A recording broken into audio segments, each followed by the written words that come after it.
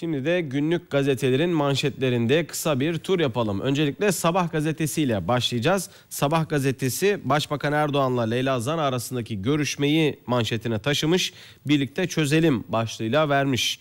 Başbakan Erdoğan tarihi buluşmada Leyla Zana'ya sorun sadece askeri yöntemle, sadece iktidarla çözülmez. Bunu hep birlikte çözmeliyiz dedi. Ankara'da dün Kürt sorununun çözümü yolunda tarihi görüşmelerden birine ta- tanık oldu. Başbakan Erdoğan bölge siyasetinin en etkili isimlerinden bağımsız Diyarbakır Milletvekili Leyla Zana'yı başbakanlık konutunda kabul etti ve bir buçuk saat süren bir görüşme yaptı. Erdoğan Zana'ya şu mesajları verdi. Hükümet olarak sorunun çözümü için birçok adım attık, PKK'ya silah bırakma çağrısı yaptık. Ama PKK saldırıları sürdürüyor. Bu sorun sadece askeri yöntemle çözülmez. Sadece iktidar da çözemez. Hep birlikte çözmeliyiz. BDP de terörle arasına mesafe koymalı şeklindeki sözleri ön plana çıkarılmış. Hemen onun altında Esad'ın kaderi bilmece gibi başlığıyla bir başka haber mevcut. Amerika Birleşik Devletleri Esad'ın günleri sayılı. Rusya görev süresinin dolacağı 2014 yılına kadar yönetimde kalabilir şeklindeki iki farklı görüşe yer verilmiş. Cenevre'deki Suriye zirvesinden Şam'da geçiş yönetimi oluşturulması konusunda mutabakat çıktı. Geçiş yönetiminde mevcut hükümetin üyeleri, muhalefet ve sivil toplum temsilcileri yer alacak. Öncelikli görev anayasal reformlarla özgür ve çoğulcu seçimleri düzenlemek olacak. Esad'ın varlığıyla ilgili olaraksa Amerika Birleşik Devletleri ve Rusya'nın görüşleri çok farklı denmiş gazetede yer alan haberde. Zaman Gazetesi ile şimdi de devam edeceğiz. Zaman Gazetesi manşetine Cenevre'deki toplantıyı taşımış. Birleşmiş Milletler geçiş hükümetinde uzlaştı. Esad'ın geleceği belirsiz.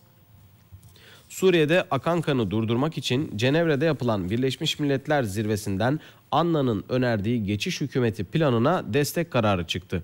Zirve öncesinde en büyük soru işareti olarak görülen devlet başkanı Esad'ın geleceği konusundaki belirsizlik ise devam ediyor. Clinton'ın gitmek zorunda dediği Esad hakkında Lavrov görevi bırakmasına gerek olmadığını söyledi deniyor. Hemen onun solunda oldu bitti yasası son ana kadar sır gibi saklandı manşetiyle bir başka habere gözümüz çarptı. Meclis Genel Kurulu 3. yargı paketini görüşmeye dün başladı. Terör örgütleri ve darbecilerle mücadelede tarihi bir, bir rol oynayan özel yetkili mahkemelerin kaldırılması için AK Parti'nin hazırladığı ve CHP ile BDP'nin desteklediği düzenlemenin öner, önergelerle bu pakete ekleneceği açıklandı deniyor haberin içeriğinde. Biraz daha küçük görülmüş Erdoğan-Zana görüşmesi onun altında daha küçük bir fotoğrafla Başbakanlıkta kritik güvenlik zirvesinin hemen üstünde e, verilmiş. Başbakan Tayyip Erdoğan dün topladığı güvenlik zirvesinin ardından Diyarbakır Bağımsız Milletvekili Leyla Zana'yı da resmi konutta kabul etti. Basına kapalı yapılan ve bir buçuk saat süren görüşmede Kürt sorununun ayrıntılı şekilde konuşulduğu öğrenildi deniyor haberde. Hürriyetle devam edeceğiz. Hürriyet gazetesinin bugünün bugünkü manşeti barıştık zirvesi şeklinde Leyla Zana ile e, Tayyip Erdoğan arasındaki görüşmeyi yine manşetine taşıyan bir başka gazete olmuş Hürriyet. Hürriyet'te yayınlanan Leyla Zana röportajından sonra gündeme gelen Kürt sorununun çözümüne ilişkin görüşme dün Başbakanlıkta gerçekleşti. Başbakan görüşmede daha çok Zana'yı dinledi. Beşir Atalay not tuttu.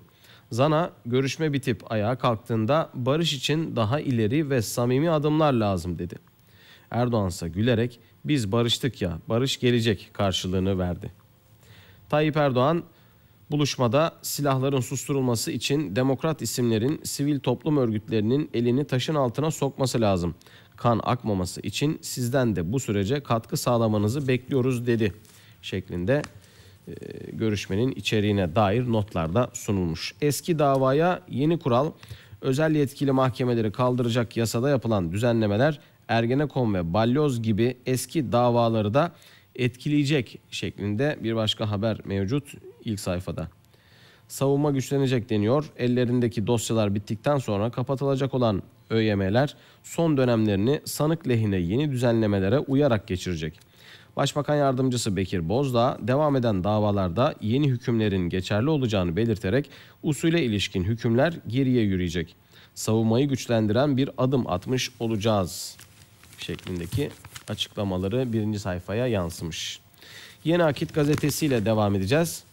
Yeni Akit gazetesinde de Sivas'ta sahte teşhisle idam başlığını kullanmış. Onlarca mazlumun hayatını karartan Sivas davasıyla ilgili skandalların ardı arkası kesilmiyor. 33 kişinin idam cezasına çarptırılmasına neden olan süreçte adeta istiklal mahkemelerinin sanığın idamına ifadesinin bilahare alınmasına tarzında uygulamalarına yer verilmiş. Sözde tanık ifadelerinde yüz yüze teşhis edilen birçok sanık teşhisten 17 gün sonra gözaltına alınmış deniyor haberin içeriğinde. Erdoğan Zana görüşmesi yine Yeni Akit gazetesinin birinci sayfasından verdiği haberlerden birisi Başbakanlık resmi konutunda gerçekleşen görüşmeyle ilgili e, biraz daha küçük de olsa birinci sayfadan görülmüş. Başbakan Ankara'da CHP'ye yüklendi deniyor. Yine partisinin Ankara İl Kongresi'nde yaptığı konuşmada CHP'yi sert bir, bir şekilde eleştiren Başbakan Erdoğan yıllarca Türk dünyasına açılamadılar. Orta Doğu'yla konuşamadılar. Batı'ya seslerini çıkaramadılar. Korkaklar zafer abidesi dikemezler. Bugün artık CHP'nin içine kapattığı bir Ankara yok dedi şeklinde e, verilmiş haberler. Korunmayan gizli tanıklar artık ifade vermiyor. Bir başka haber sür manşete taşınmış. Gizli tanık ilk adımın çocuklarının ve ailesinin can güvenliği olmadığı gerekçesiyle ifade vermeyeceğini açıklamasının ardından gizli tanık Kıskaç'ta Tanık Koruma Kurulu tarafından korunamadığı gerekçesiyle Diyarbakır'da görülen faili meçhul cinayetler davasında tanıklık yapmayacağını açıkladı. CHP İzmir Milletvekili ve Ergenekon'un tutuklu sanığı Mustafa Balbay, Silivri Toplama Kampı Zulümhane adlı kitabında gizli tanık Kıskaç'ın gerçek ismini açıkça yazmış. Ancak Tanık Koruma Kurulu gizli tanık Kıskaç'ın isminin kitaptan çıkarılması için girişimde dahi bulunmamıştı şeklinde de bir başka ayrıntı veriliyor. Radikalle devam edeceğiz. Radikal gazetesi futbolu 4,5 ayda kurtardık başlığıyla e, şike davasına değinmiş. 3 yıl sürer denilen şike davasında 4,5 ayda sona gelindi. Karar yarın. Mahkeme heyeti futbolu kurtarmak için hızla çalıştıkları görüşünde. Yıldırım'ın avukatı ise acil değil adil yargılama önemli diyor şeklinde gündeme getirilmiş şike davası. Habertürk'le şimdi de devam edeceğiz.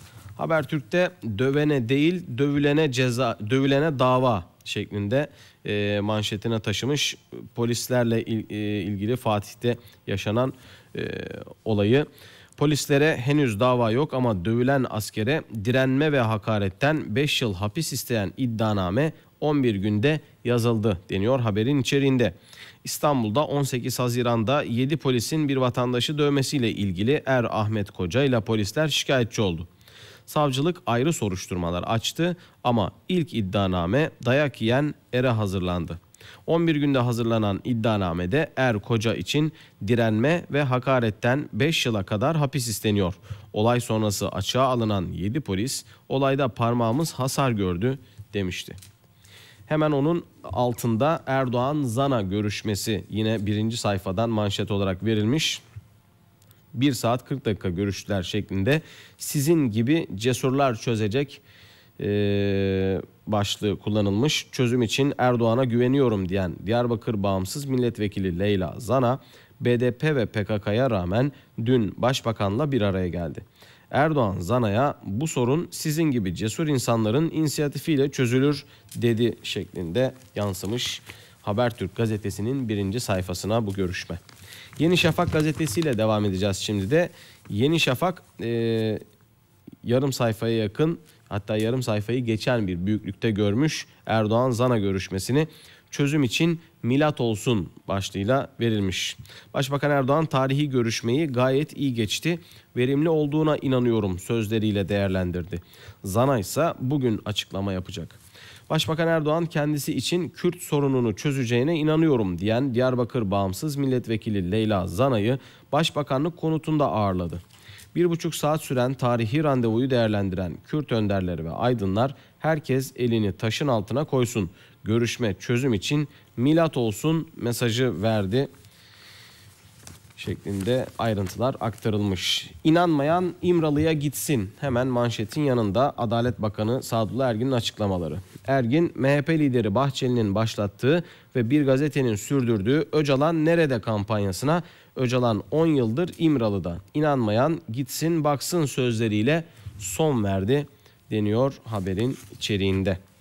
Hemen altta da Anna'nı kurtarma planı şeklinde e, görülmüş. Beşar Esad yönetiminin katliamlarına karşı başarısızlıkla suçlanan Annan planının ardından Cenevre'de düzenlenen Suriye zirvesinden geçiş hükümeti formülü çıktı. Türkiye'yi Dışişleri Bakanı Davutoğlu'nun temsil ettiği zirveye Birleşmiş Milletler Güvenlik Konseyi 5 daimi üyesiyle Arap Birliği'nden 3 ülke katıldı. Annan toplantının ardından Suriye'de iktidar ve muhalefetin temsil edileceği geçiş hükümetinde uzlaşıldığını açıkladı. Davutoğlu karar önemli uygulamaya bakacağız dedi.